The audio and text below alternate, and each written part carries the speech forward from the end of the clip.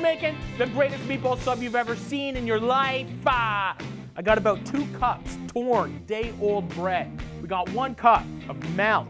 Soak it up, okay? Pork, beef, veal. Give this a quick mix. We got the dried pepperoncinis. We got salt. We're gonna add a little olive oil. We got dried breadcrumbs. Do one egg per pound of meat. A Parmesan Reggiano. Lots of pep. Spoon of tomato paste. We're gonna put three cloves, garlic, wet breadcrumb. Get a little bit of parsley. now, scoop up a ball. We got nine meatballs on this tray. See, we tightened them up a bit. My oven is preheated to 475. See you later. Look at this, hot, fresh meatballs. Gently cook our meatballs.